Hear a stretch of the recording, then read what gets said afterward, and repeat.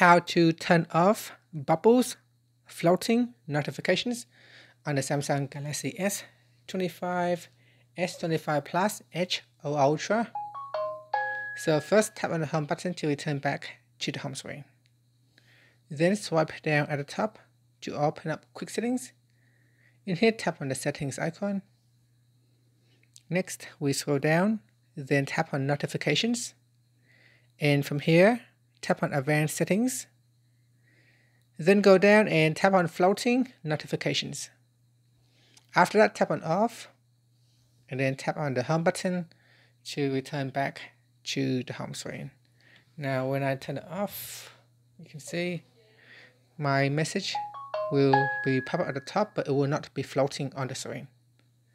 And that's it. Thank you for watching this video.